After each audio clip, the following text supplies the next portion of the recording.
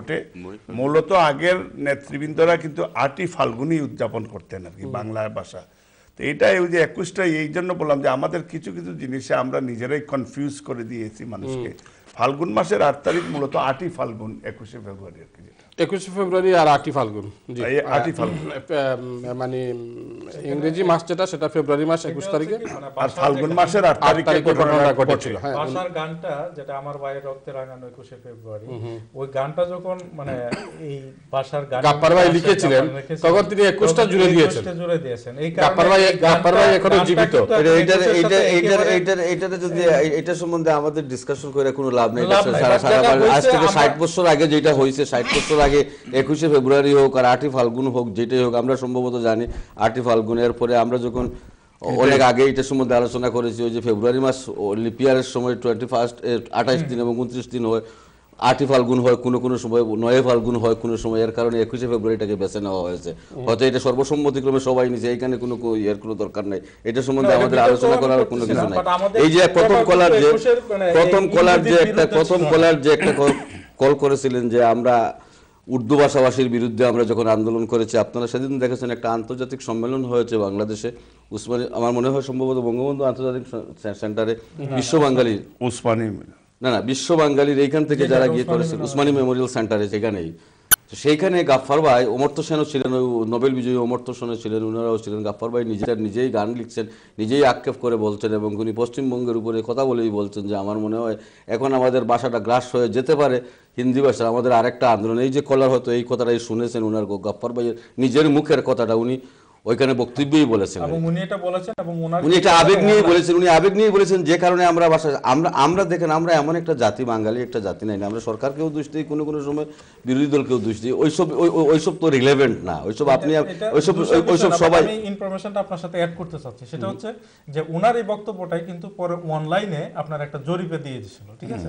ওই জরিপে চারটা না পাঁচটা অনলাইন পত্রিকায় এবং অনলাইন ইয়াতে প্রত্যেকটাতে পঁচানব্বই এর উপরে শতাংশ পিপুল আপনার এই এটার পক্ষে মত দিছে যে হিন্দি সংস্কৃতিতে আমরা আগ্রাসনে আমরা বেরিয়ে আসতে এটা এটা এটা তো ভাই আমরা এটা- এটা তো কতটা সত্য এবং কীভাবে যে আমাদেরকে এটাকে প্রভাবিত করছে এটা প্রতিদিনের যে বাংলাদেশের যে এখন কালচার বাংলাদেশের যে সংস্কৃতি এবং সবকিছুতে এটাতে ঢুকে গেছে। এটা তো তো- এটা- গুলিতে এমন ভাবে এমন। ভাইরাস ভাইরাসের মতো এমন ভাবে ঢুকছে এটা বের করতে হবে। এটা যারা আস্তে আস্তে এখন বেরেন আমরা এমন একটা জায়গায় গেছি।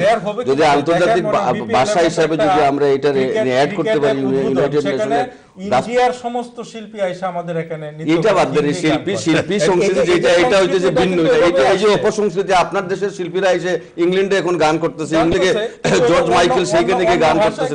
সেটা বিভিন্ন জনে বিভিন্ন ভাষায় একজন মানুষ আমাদের আন্দোলনটা ছিল কিন্তু উনি একুশে ফেব্রুয়ারি আন্দোলন আমরা আমি রাজনীতি বলে নেই না। একুশে ফেব্রুয়ারি যে মাতৃভাষা দিবস যেটা আমরা আন্তর্জাতিক মাতৃভাষা দিবস হিসাবে বলি ওইটা পৃথিবীর সব ভাষাকে আমরা রেসপেক্ট করে কথা বলি। প্রত্যেকের আমাদের মায়ের ভাষা কেড়ে নিতে চেয়েছিল যারা। এর এই জন্যই আমরা আন্দোলন করেছিলাম সংগ্রাম করেছিলাম। তাই বলে আমরা ইংলিশের মুখ- মুখের ভাষা ভাষা আমরা কেড়ে নিয়ে তাদেরকে আমরা ফোর্স করে বলব না যে তোমরা এখন বাংলাতে কথা বলতে হবে। বা আরও এরাবিয়ানদেরকে বলতে পারব না যে তোমরা আমাদের বাংলা ভাষায় কথা বলতে হবে। এটা প্রত্যেক এই কারণেই এই যে কানাডার যে লোকগুলো যেটা ইনিশিয়েটিভ নিয়েছিলেন এবং প্রধানমন্ত্রী জননেত্রী শেখ হাসিনার সম্মতি দিয়েছেন এবং এটা আন্তর্জাতিক মাতৃভাষা দিবস উপলক্ষে এখন এস্টাবলিশড হয়ে গেছে এবং রিসেন্টলি কানাডার একটা পার্কে আমার মনে হয় সবচেয়ে ব্যয়বহুল একটা শহীদ মিনার এখানে ঠিক করা হচ্ছে আন্তর্জাতিক, যারা এই জায়গার থেকে, আমি রিসেন্টলি কানাডিয়ান টাইমসে দেখেছি আর। এই এই জিনিসটা হতেছে এটা এটা আমাদের আরও একটা ওয়ান স্টেপ অ্যাহেড আমরা যাচ্ছি, আর ওই যে বাংলার সাথে সাথে এই তো মনে করেন আমি ওয়ান স্টেপ হেড কথাটা বলে ফেললাম, হঠাৎ করে। এটা এটা কিন্তু অনেক সময় হয়ে যায় চেয়ার আমি কি কোনোদিন খেদারা বলি নাই চেয়ার বলি টেবিল আমরা বিদেশে এই যে এই যে জিনিসগুলো ওইগুলো বড় বড় পণ্ডিত যারা আছেন তাদের উপরে ছেড়ে দিই আমরা ওইসব নিয়ে আলোচনা করে কোনো লাভও হবে না লুস্কানও হবে না কিছুই হবে না শুধু কথার উপরে কথা বলব। এটা এটা যারা বিজ্ঞ আছেন ভাষাবিদ ভাষা সৈনিক যারা ভাষা নিয়ে কথা বলেন গ্রামার নিয়ে কথা বলেন তাদের উপরে ছেড়ে দিই। তারা বিজ্ঞ আছে তারা এটা নিয়ে আলোচনা করবে। আমরা ট্রাই করব যে আমরা একবার আন্দোলন করেছিলাম ইয়ে ভাই আপনারা মনে আছে সর্বস্তরে বাংলা ভাষা চালু করো। এক সময় ইংলিশ মিডিয়াম বাংলাদেশে লেখাপড়া করা হতো না। সর্বস্তরে বাংলা ভাষা চালু করো। তখন হ্যাঁ আপনি- আপনার স্মরণ আছে? ইংলিশ মিডিয়ামে কেউ পড়াশোনা করেছে না। মানুষের মানে নিজের আবেগে নিজের থেকে মানুষ এটা করেছিল। এই যে আমি এখানে আমাদের সমস্যাটা কোন জায়গায়? আমি একটা সেটা হচ্ছে যে আমাদের কিন্তু অন্য কোনো ভাষার প্রতি আমাদের বিরূপ হওয়ার কোনো কারণ নাই। আমি আমি উচিত বলি, না। আমরা এখানে দেখেন একটা ছেলে যখন সে মানে পড়ার স্কুলে যায় তখন তাকে চয়েস দেওয়া হয় তাকে অ্যাটলিস্ট দুইটা অথবা তিনটা ভাষা শেখার জন্য। সে বিভিন্ন দেশের ভাষা সে নিতে পারে। একজন মানুষ সে বিভিন্ন ভাষা জানতে পারে জানার অধিকার আছে সে শিখতেও পারে ই বলতে পারে। কিন্তু আমাদের সমস্যাটা হচ্ছে যে আমরা কিন্তু তারা কিন্তু তাদের নিজেরটাকে রেখে তারপরে অন্যগুলি শিখে। অন্য জায়গায় নিয়ে ঠিক আছে? এই যে মালিক ভাই যে কথাটা বললেন যে ফ্রান্সে গিয়ে উনি যখন ওই এলাকার একজন মানুষের সাথে জিজ্ঞেস করলেন তখন কিন্তু সে ইংরেজিতে কথা বলতে চায় নাই। কারণ হচ্ছে সে ফ্রান্স জানে।